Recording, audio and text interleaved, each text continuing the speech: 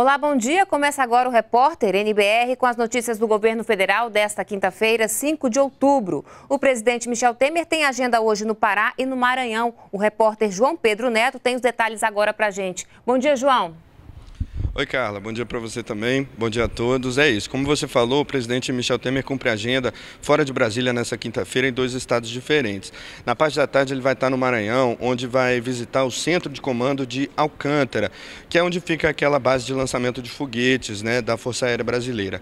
Antes, agora pela manhã, o presidente vai a Belém do Pará, onde vai assinar em uma cerimônia um protocolo para a destinação social de um terreno mantido pela União para ser usado pela Basílica de Nossa Senhora de Nazaré. Inclusive o presidente falou agora mais cedo pelas redes sociais, disse que sobre o assunto, ele disse que é uma honra estar podendo participar e escrever mais um capítulo dessa história.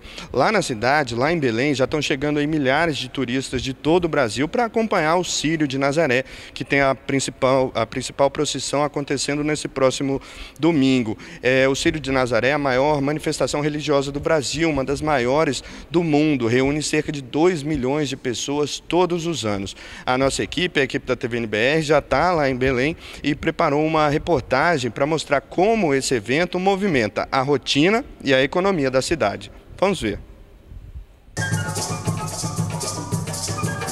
Ao som de um ritmo típico do Pará, o carimbó, turistas chegam para o Sírio de Nazaré. Há uma previsão de 110 mil passageiros embarcando e desembarcando por aqui o que representa um incremento de 5% considerando os números do ano passado. A gente teve uma demanda extra de 45 voos que serviram para, junto com os voos ordinários, né, é, confirmarem essa demanda para nós. Uns vêm pela primeira vez. Na verdade, eu vim porque o culpado meu vai pagar uma promessa e eu vou ajudar ele na corda. Outras já conhecem bem a festa uma festividade muito bonita. E vem as comidas típicas que a gente também está acostumado. Nessa época também tem a maniçoba. O mês de outubro já é tradicional aqui em Belém por conta do Círio de Nazaré, uma das maiores celebrações religiosas do mundo. São 12 grandes procissões e ao todo 15 dias de festividades. Com toda esta história, o Círio de Nazaré também tem outras funções, como movimentar a economia local. A expectativa da Secretaria de Turismo do Pará é que pelo menos 100 milhões de reais sejam movimentados durante o Sírio. Uma parte deste valor deve passar pelo frenético movimento dessas barracas no mercado Ver-o-Peso. Fundado em 1901, ele é um dos mercados públicos mais antigos do Brasil. A expectativa dá muita gente, né? Tem muita, muita gente de fora, principalmente os turistas que gosta aqui do Pará, né, que vem apreciar a nossa profissão na Senhora de Nazaré e dá muito movimento. Muito bonito, muita variedade, muita fruta, tempero, artesanato.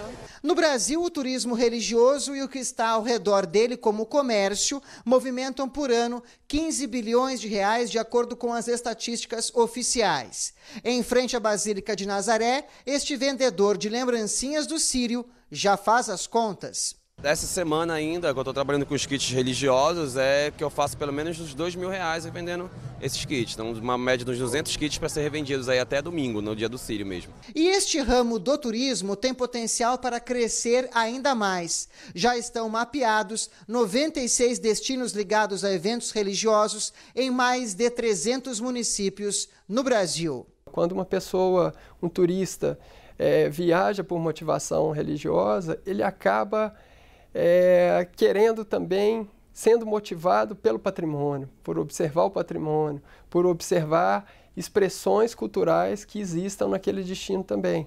Ele vai para buscando um conjunto que aquele destino tem. É por isso que os destinos é, devem se preparar cada vez mais no sentido de receber esse turista de, da forma mais é, de ter atividades para todos esses tipos de turistas.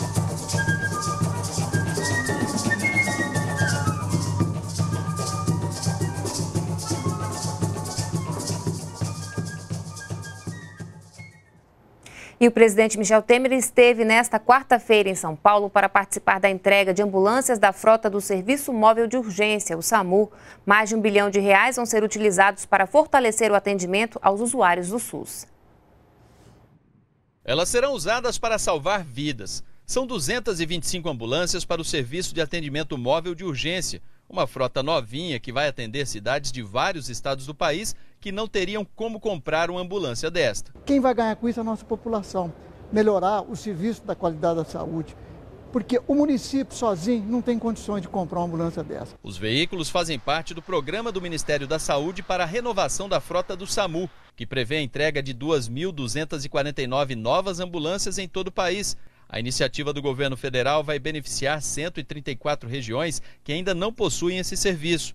Com isso, a cobertura à população chegará a 83,4% em todo o país.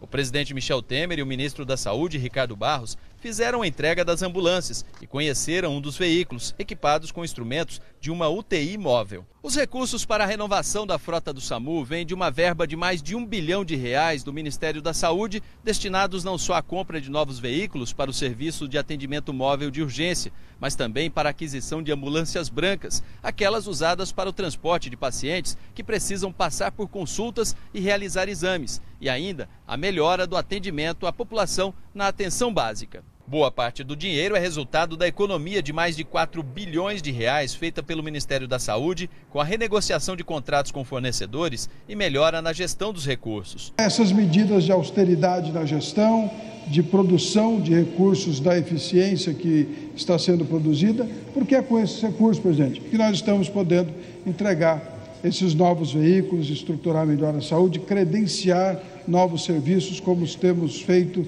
sucessivamente. Flexibilizamos o custeio, os prefeitos estão abrindo as UPAs com o SAMU, com o UPA, com médicos da atenção básica, vamos fazer uma saúde cada vez melhor. O presidente Michel Temer lembrou a preocupação do governo não só com a responsabilidade fiscal, mas também com a social. Você tem desde a da extrema pobreza, quando nós temos incentivado e ampliado os valores do chamado Bolsa Família, né?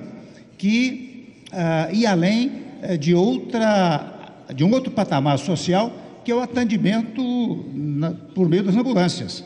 E, e, vejam que, tal como o Ricardo acabou de mencionar, aqui são duzentas e poucas ambulâncias ao total, mas a verdade é que ao longo do tempo nós vamos entregar ambulância a todos os municípios brasileiros. Temer também comentou os bons números da economia, com o aumento da criação de postos de trabalho e os esforços do governo para colocar o país nos trilhos. O número de ocupados, aqueles que obtiveram alguma ocupação neste último trimestre, chegou a 1 milhão 320 mil, não é? É, é, ou seja, a economia está reagindo. Quando eu vejo a Bolsa de Valores atingir o seu pico, 76.200 e tantos pontos, coisa ímpar, jamais obtida desde que se instalou o índice, eu digo, o que é que significa isso? Significa confiança no nosso país.